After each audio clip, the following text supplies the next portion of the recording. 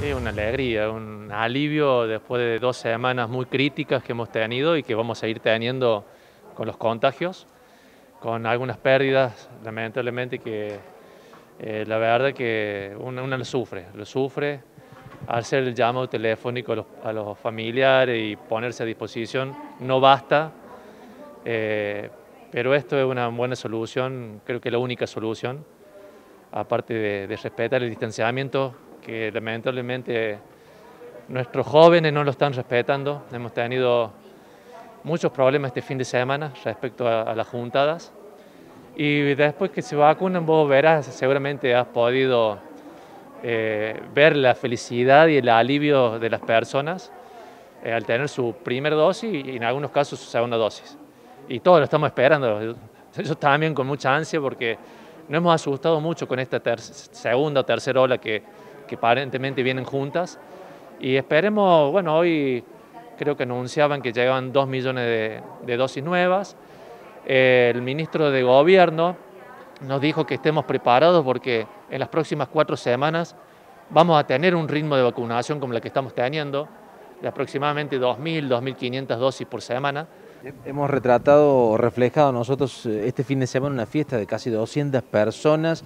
Eh, digo, ¿qué se hace cuando eh, tenemos un montón de gente acá trabajando, un equipo enorme de gente, no solamente aquí, en un montón de localidades, y pasan estas cosas? Pasa por una falta de empatía y te diría que no de educación, porque entiendo que esa fiesta era una colación de grado. O sea, estamos hablando de chicos universitarios que han pasado por un proceso de capacitación desde los cuatro años hasta los 22 años, donde una familia conteniendo a estos chicos y todo ese, ese amor de padres, esa capacitación de los profesores, esa capacitación en la universidad no sirve para nada porque no han podido asimilar ni tener empatía con el helado, con el sector de salud, con todos aquellos que no se quieren contagiar, que no nos queremos contagiar. Eh, es difícil luchar contra eso, Nico porque no es una cuestión tampoco de cansancio de la sociedad.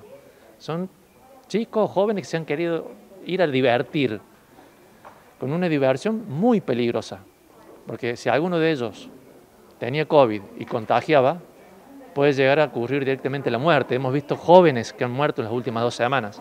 Entonces hoy los jóvenes no escapan de esta realidad. Y por un lado llena de bronca, de otro lado impotencia, porque ya no ya no es una cuestión de educación.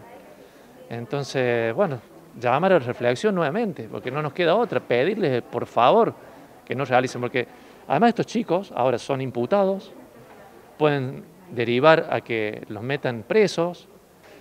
Sé que con eso tampoco basta, no asusta, no asusta la muerte. Entonces ya cuando no te asusta la muerte es, es grave.